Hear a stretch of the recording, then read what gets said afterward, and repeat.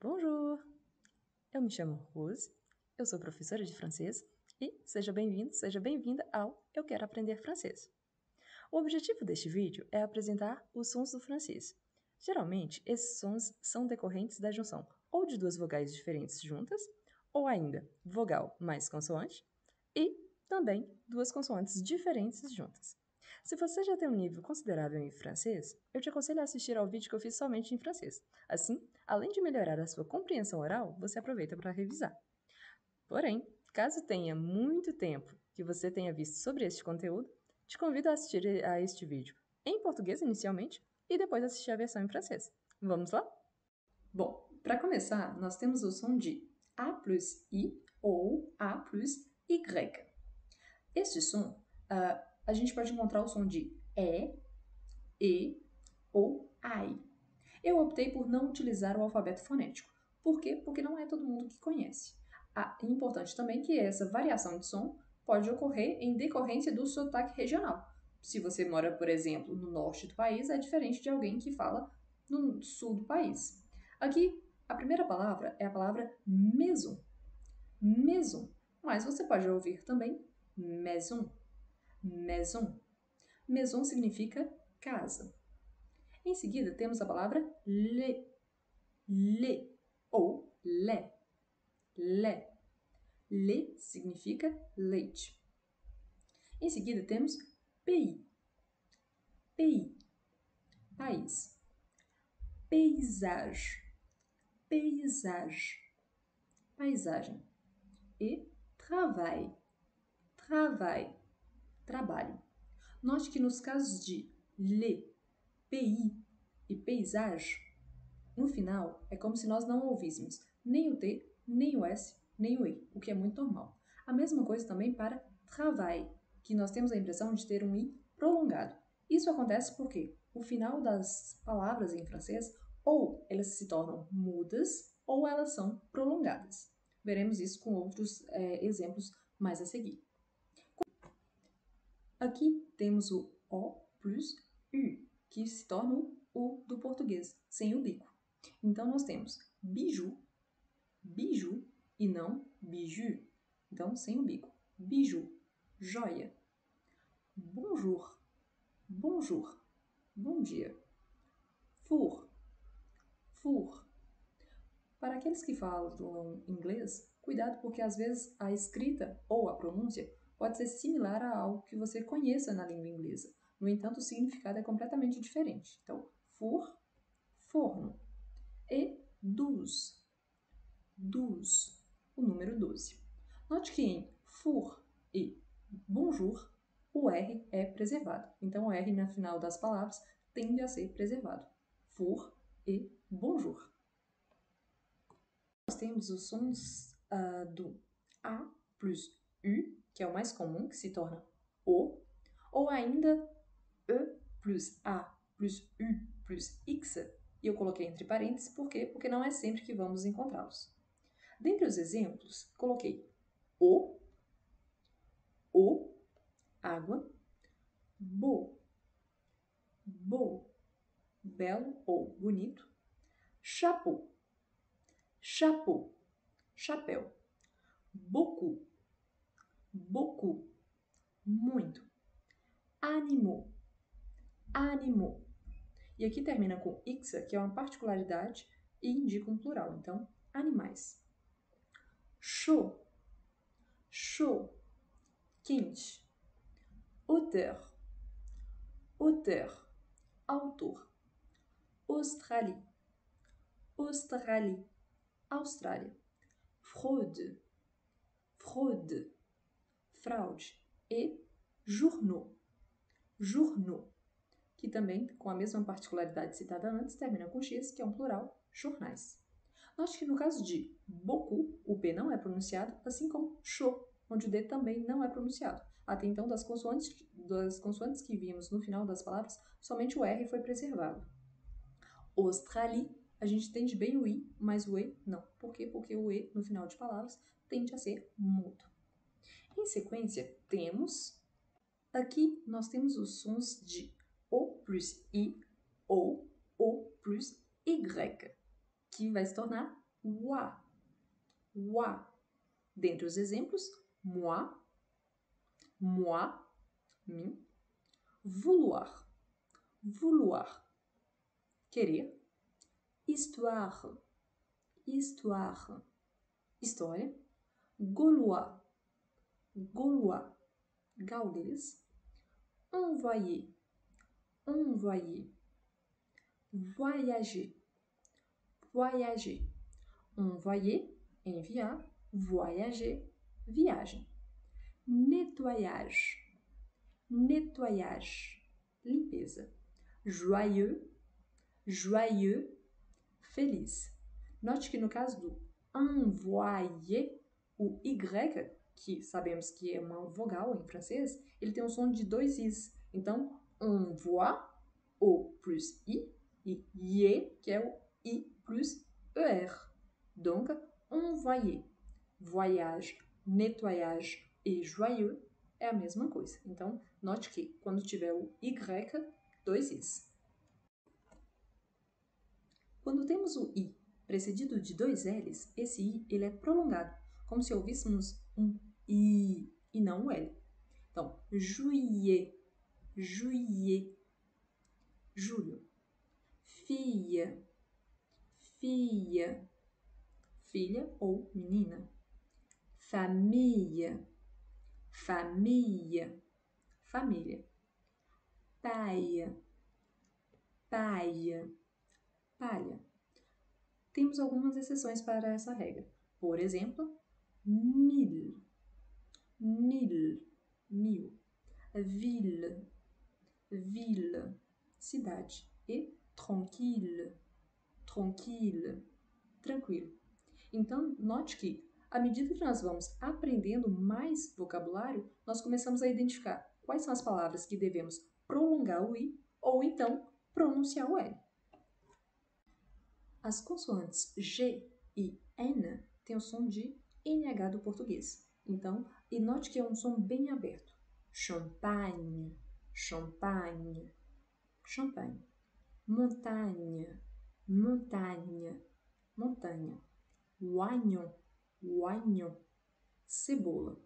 Linha, linha, linha.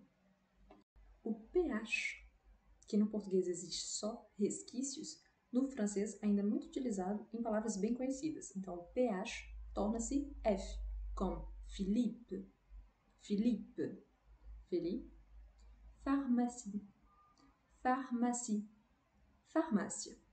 Raphaël, Raphaël, Raphaël. Philosophie, philosophie, filosofia. E-U-R tem o som de R. Donc, E-U-R, R. Aqui temos R, R, hora, fleur, fleur, flor, valeur, valeur, valor e vainqueur, vainqueur, vencedor. Neste exemplo aqui, nós temos algo muito similar ao que acabamos de ver. A diferença aqui, antes era E-U-R e agora nós temos o I-E-U-R. Então temos ultérieur, ultérieur, posterior, copier, copier, uh, copiador, ingénieur, ingénieur, engenheiro, plusieurs, plusieurs, vários. Mas temos monsieur, monsieur, senhor.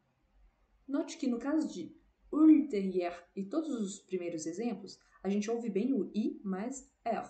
No caso de monsieur, o som é fechado. Então, é como se tivesse um acento agudo sobre o e, mas o UR desaparecesse. De mesma forma, note que é monsieur, monsieur. Então é como se você pronunciasse somente o M e depois monsieur, monsieur. Ok? Neste caso aqui, nós temos um som diferente porque parece que tem um O com E dentro, um O com um E.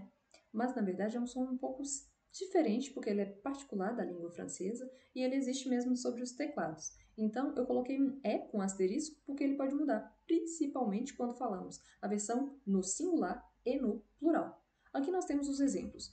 Œuvre, œuvre, obra, œuf, œuf, ovo, bœuf, bœuf, boi e sœur, sœur, irmã. No caso de œuf e bœuf estão no singular. E eles são bem irregulares porque no plural nós vamos ouvir e e b. Então, é fácil de identificar também, porque o som vai mudar um pouco, mas para identificar se está no singular ou no plural, no plural terá um S a mais. Aqui nós temos os sons do E plus U ou E plus U plus X. E o X eu coloquei entre parênteses porque não é tão comum de encontrá-lo. O som ele pode ser vazio ou neutro e pode ser também uma mistura do som próximo do E com O. Então, às vezes a gente tem a impressão de ouvir um ou o outro.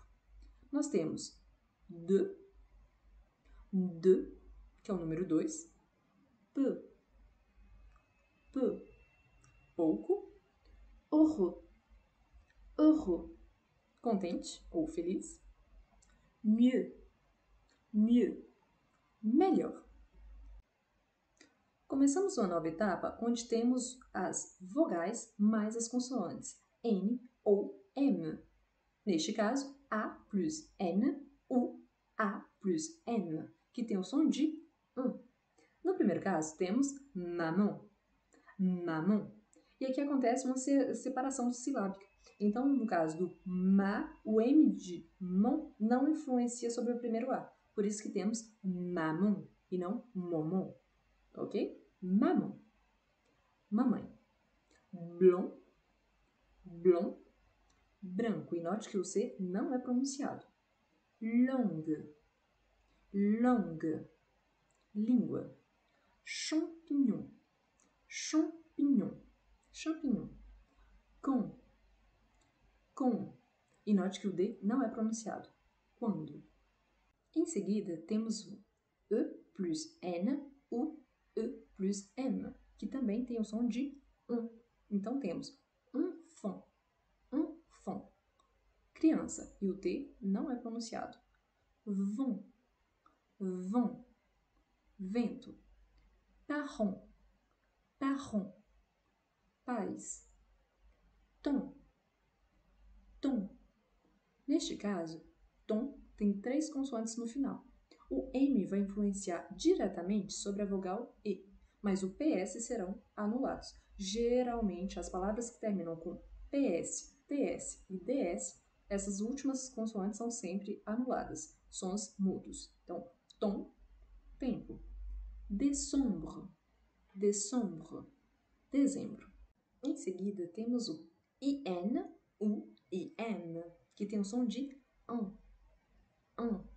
Então temos pão, pão, pão, faim, faim, fome, important, important, importante, jardim, jardim, jardim, vin, vin, vinho. Atenção principalmente à palavra important, porque temos os sons de I mais M que vira um e A mais N que vira um. Important. E no caso da palavra jardim, jardim, porque termina com IN, tem esse som de an, mas principalmente porque no português é escrito com M. Então tem essas particularidades que mudam também a escrita da palavra. O N, U, O N, que também tem o som de an. Então temos pão, pão, ponte, garçom, garçom.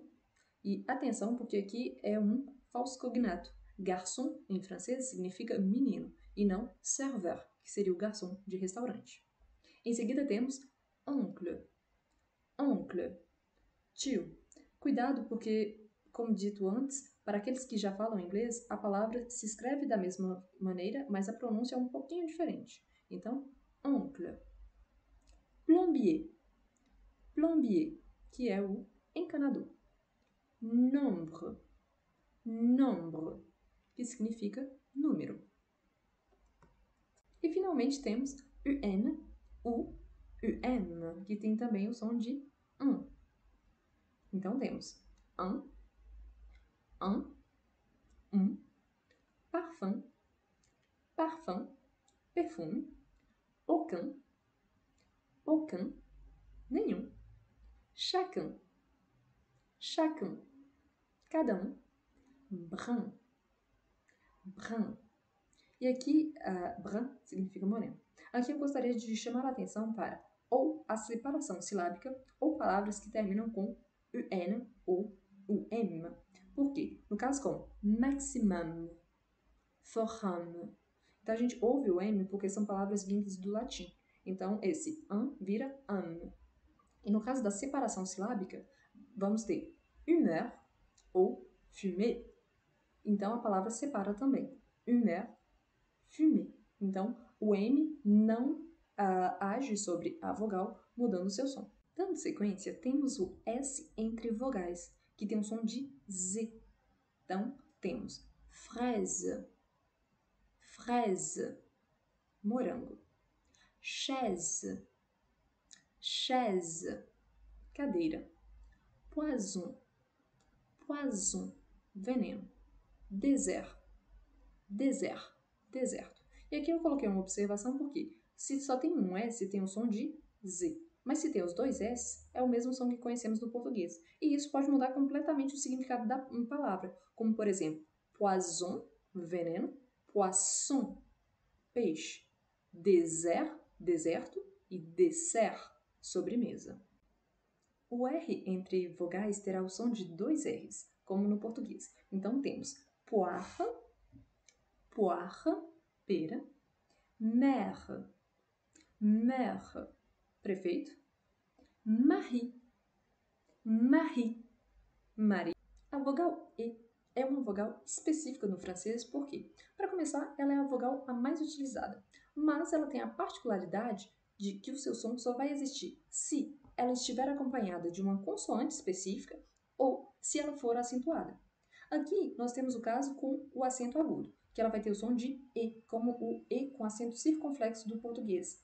Por exemplo, no português dizemos café, em francês dizemos café, café.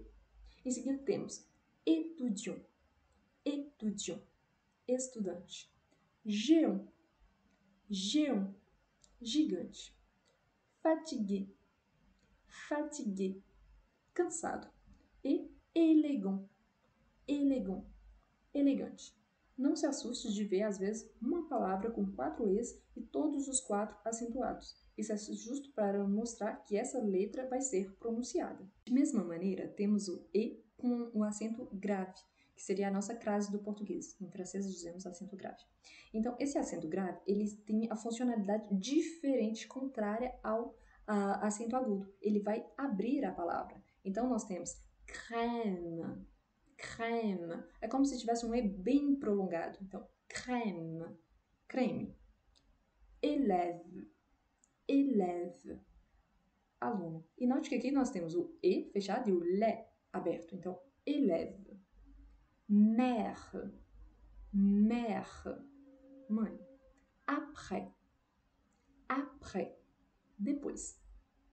Temos ainda o E com o acento circunflexo. O acento circunflexo em francês tem uma função diferente porque ele serve tanto para acentuar a vogal E, mas também com outras funções. Aqui especificamente ele vai ter um som aberto. Podemos também encontrá-lo com um som mais fechado.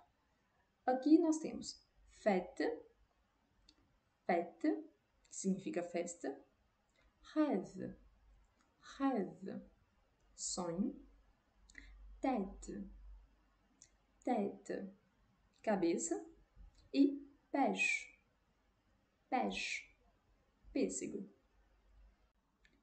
Temos ainda o E com uma trema ou trema. Uh, na verdade, a trema ela quebra regras já pré-estabelecidas inicialmente.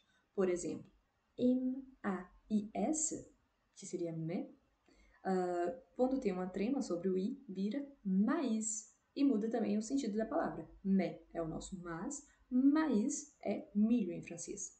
No caso especificamente da vogal E, significa que o E deve ser bem pronunciado. Então aqui nós temos, por exemplo, Noël, Noël, Natal, exigu, exigu, apertado, e canoë, canoë, canoa. E como dito anteriormente, temos também o caso do E sem acento no meio ou no final das palavras, no qual ele é completamente mudo. Então temos, por exemplo, venir, venir, vir, ami, ami, amiga, promenade, promenade, passeio e petit, petit, pequeno. E aqui nós temos o caso do E plus R ou E plus Z, que é o som do E, como E com acento circunflexo do português. Aqui eu coloquei exemplos muito similares porque eu coloquei o verbo no infinitivo, que termina normalmente em ER, e o verbo conjugado em EZ. Então temos parler, parler, falar, vocês falam, manger, manger, comer, vocês comem, e voyager, viajar. No caso dos acentos sobre as vogais, o acento circunflexo ele aparece sobre todas as vogais exceto o Y. Então, ele tem duas funções. A primeira é mostrar palavras que se escrevem da mesma maneira, pronuncia-se da mesma forma, mas têm sentidos diferentes. Aqui eu coloquei alguns exemplos, como sur e sur. Então, a escrita é praticamente idêntica, só muda o acento, e a pronúncia é idêntica. Só que sur, sem acento, é a preposição sobre, e sur, com acento, é o certo. De mesma maneira, temos o du e du. Du, sem acento, é a preposição do, enquanto que du, com acento, é o passado do verbo dever. Embaixo eu coloquei outras palavras aqui sobre cada vogal que é acentuada, mas tem duas funções também. Além de existir o acento ele mesmo, ele pode representar um S que caiu de palavras latinas. Como assim? Para começar, nós temos gâteau, gâteau, bolo, uh, tête, tête, que é cabeça, mas que lembra muito testa. Então, se tivesse um S, seria mais próximo do português. Temos abîme, abîme, se tivesse o S, abismo, que seria mais próximo também de abismo. Hospital, hospital, com S, hospital, que seria também próximo do português, hospital. E août, août, que é o mês de agosto. De mesma maneira, temos também o l'accent grave, ou a crase, que serve para palavras que são idênticas, com a mesma pronúncia, mas com a diferença do acento, neste caso, sentidos diferentes, ou então, como vimos no caso do e, que vai abrir a palavra, ou seja, deixar um som mais aberto. Então, temos aqui alguns exemplos, como lá e lá. Lá com acento significa aqui, e lá sem acento significa a. Temos também o e u. U com acento, onde, u sem acento, ou. Temos também a com acento e a sem acento. A com acento é a preposição em, para, no, na, dentre outras, e a sem acento é o verbo avoir. No caso de abrir algumas palavras, como vimos, temos mère, père, frère, crème, dentre outras.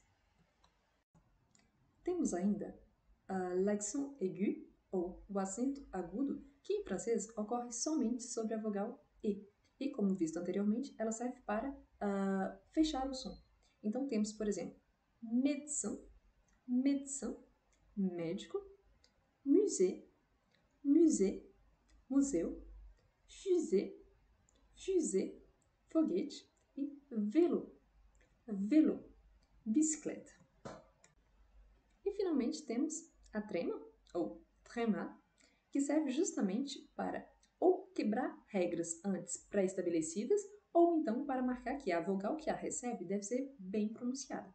Aqui nós temos alguns exemplos, como ambiguïté, ambiguïté, ambiguidade, naïf, naïf, ingênuo, laïque, laïque, laico e Noël. Noël, Natal. Finalmente, chegamos às palavras estrangeiras. A pergunta que eu recebo frequentemente é: devo pronunciar em inglês, em alemão, em espanhol? A resposta é: depende. Se você souber que o seu interlocutor fala essa língua estrangeira, então você pode pronunciar, por exemplo, se eu digo Maria, a pessoa sabe que Maria, em português, é Maria. Mas se você está falando com um interlocutor francês, você vai pronunciar à la française, ou seja, Maria. Por quê? Porque é como ele vai entender o som. De mesma maneira, a gente tem as palavras que já fazem parte do vocabulário francês. Como, por exemplo, aqui eu coloquei camping, camping, stop, stop e gang, gang.